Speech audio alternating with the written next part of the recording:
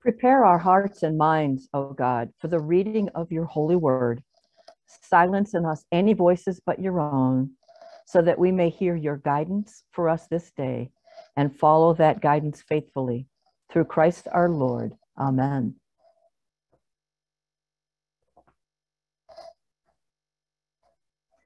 Scripture reading for today John 3 1 to 12 and 16 to 17.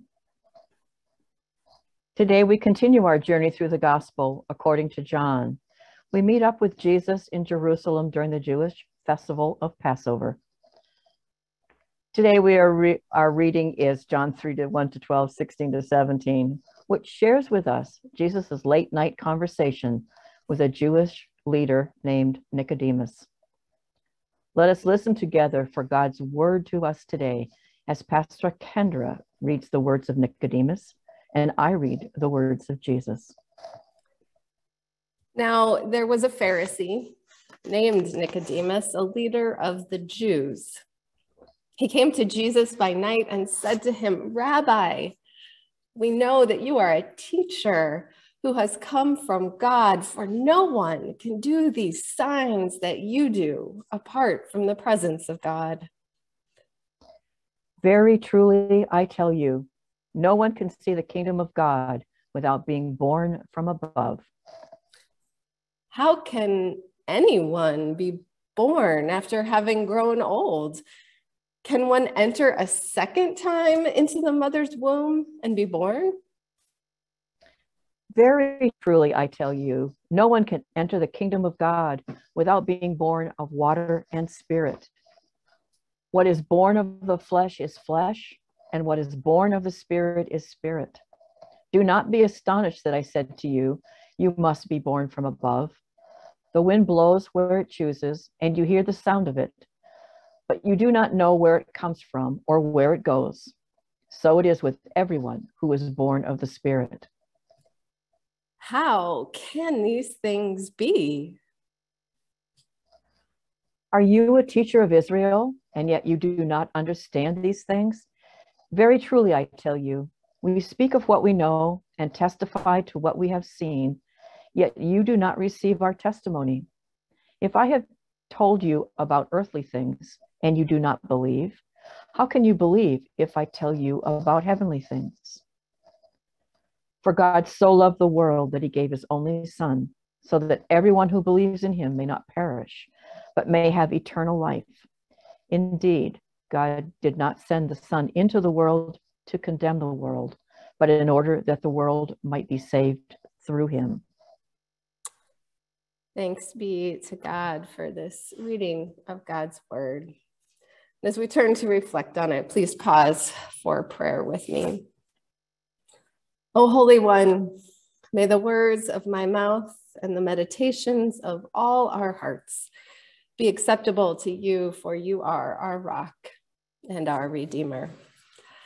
Amen. So it must be Share About Childhood Day, because, like Pastor Laura, I want to begin by sharing a memory uh, from years gone by. I don't have any cute pictures of childhood, though. I'll have to save those for next time.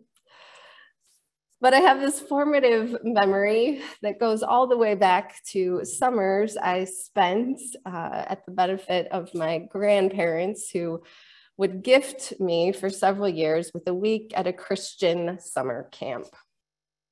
And one summer, after hearing a certain Bible verse over and over again for probably the third or fourth summer in a row, my impressionable, wanting to please others self, decided it was finally, it was best to finally invest in the camp store in the brand new, yet oddly rustic looking plywood wall plaque that was emblazoned with this particular verse. So for several years thereafter, the words of John 3:16 hung above the coat tree in my bedroom. For God so loved the world that God gave God's only son that so that everyone who believes in him may not perish, but have eternal life.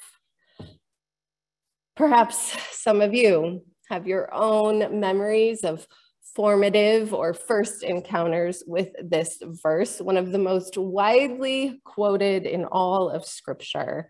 It appears not only on wall plaques, but also on coffee mugs, billboards, t-shirts, cross-stitch samplers, and more.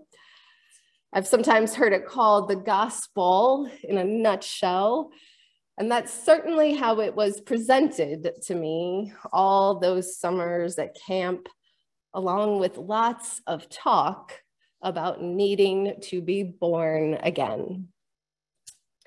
What either didn't stick in my head or wasn't shared at camp was the original context of Jesus' now famous words and call to be born again. I'm not sure I even recognized the name of Jesus' late night visitor, Nicodemus, until I was in seminary, to be honest. But as with so many things, context matters.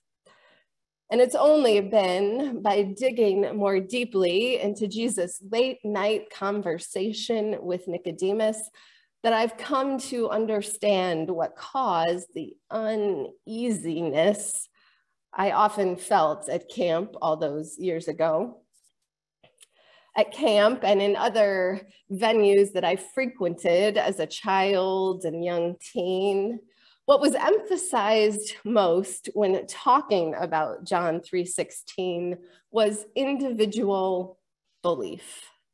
I personally needed to believe something, which fairly clearly meant that I needed to affirm intellectually a certain set of doctrines or truths about Jesus so that I might individually be born again or saved from perishing when my earthly life came to an end.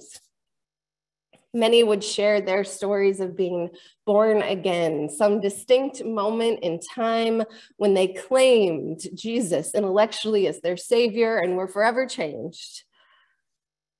While there's nothing wrong with such a moment in time conversion experience, it wasn't and isn't my experience. And as we and if we read Jesus' words in the context of his conversation with Nicodemus, it becomes clear that Jesus wasn't just interested in individuals being born again and embracing eternal life, that was Jesus' dream for whole communities, for the whole world. Nicodemus was a Pharisee or a prominent Jewish leader, as John tells us. And as we read, he comes at night to inquire more of this Jesus because he has caught Nicodemus's attention Nicodemus comes, I believe, in good faith, for he greets Jesus, affirming that Jesus must be from God. For how else would Jesus be able to do the amazing things that Nicodemus has seen and heard Jesus doing? In response to Nicodemus's faithful greeting, Jesus doesn't waste time. Jesus wants Nicodemus to grow. So Jesus cuts right to the chase and says, No one can see the kingdom of God without being born from above. That Greek word that's here translated born from above can also be translated born again or born anew. But none of these nuances seem to strike Nicodemus just right, for he immediately expresses confusion asking how someone can physically be born again after growing old.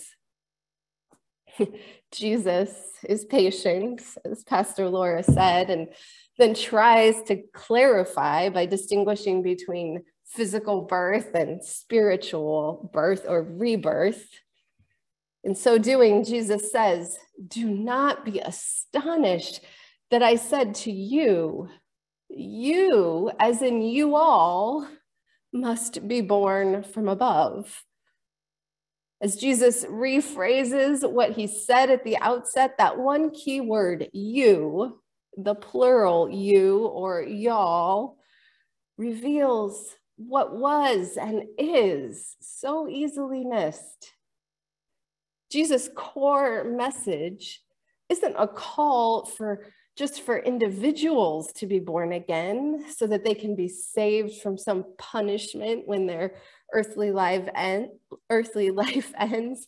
Jesus is calling for the whole community to be born again so that all can experience and see the kingdom of God, God's dreams come into being here and now. It may begin with individual transformation, but the goal is community transformation. Not surprisingly, even with Jesus' clarification, Nicodemus remains confused or perhaps reticent. After all, as theologian Debie Thomas writes, what Jesus was offering Nicodemus was not a tune up or a few tweaks to an already near perfect life. Jesus was offering Nicodemus a brand new life, a new birth, a fresh down to the foundation's beginning. And what newborn enters the world without birth pangs, shock, disorientation, or pain? And as Nicodemus no doubt knows, it's hard enough to imagine individuals leaning into the hard, vulnerable, often painful and stretching work of beginning again from the very foundations. Trying to imagine an entire community doing that hard work is even more of a stretch. With Nicodemus, we too might ask, how can these things be? How do we even begin to seek such transformation for ourselves, for our communities, for the whole world? Well, maybe this is where we circle back to that famous verse with which we began. And maybe we start by reframing this idea of belief if Jesus promises that everyone who believes in him will have eternal life, then understanding what believing really means is key. In her book, Christianity After Religion, historian Diana Butler Bass points out that in early English usage, the word believe, when used religiously, carried roughly the same meaning as its German cousin belieben, which means to prize, to treasure, to hold dear, and comes from the root word liebe, or love. So, in this way, in early English, to believe was to belove something or someone as an act of trust or loyalty. In other words, to believe is not to hold an opinion or to intellectually claim certain things about who Jesus is. To believe is to treasure, to hold something beloved, to give one's heart over to something without reservation, to invest it with one's love. Believing is not holding, claiming, or possessing an opinion or idea about God.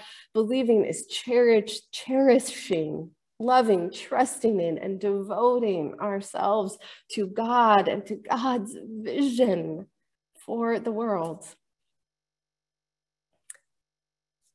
As Debie Thomas writes, for, for Nicodemus, Believing in this way meant starting anew, letting go of all he thought he understood about the life of faith. It meant becoming a newborn, vulnerable, hungry, and ready to receive reality in a brand new way.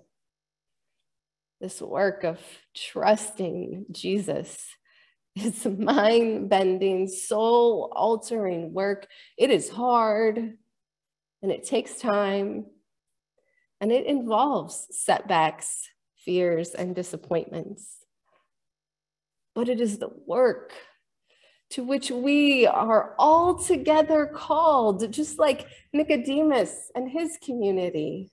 Because in our rebirth, our collective letting go of old ways and of knowing and believing, and in our collective deeper trust and embrace of God's work among us, that is where, as Jesus promised, we will see and experience the kingdom of God come among us, God's dreams growing and flourishing in our midst here and now not just in some far off future.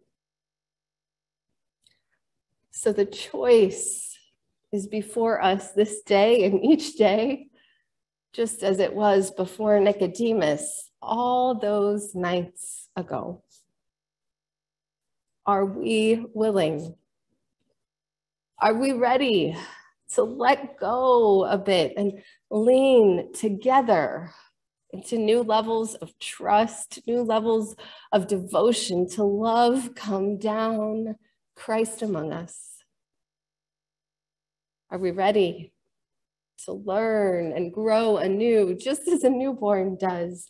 One day at a time, one moment at a time, taking in each new thing, trusting that the parent God who created us and gave us life will not let us go, trusting that the promise of God's kingdom, of God's dreams, of a world of justice, peace, and love is for us and for all, here and now. Friends, it may be hard work. It may be a lifetime of work, but I trust that we can do it together. So, by God's grace, may we dare to believe, to ever more fully beloved our God. May we dare to be born anew, not just as individuals, but as a community. And in doing so, May God's glory and dreams be ever more fully known. Thanks be to God. Amen.